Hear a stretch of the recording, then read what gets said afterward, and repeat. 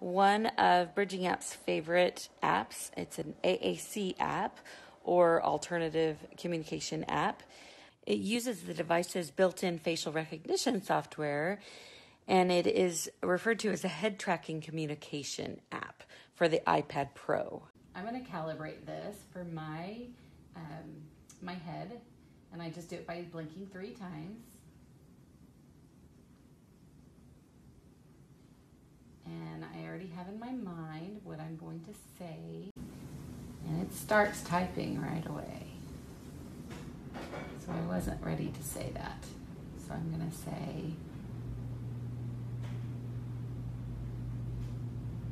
and it does do word recognition. So basically, if I don't know what I'm going to say, I could just rest in that little place and hover in that area or up at the top. But it does take some thought if I want to trash the whole thing. And I can always go back.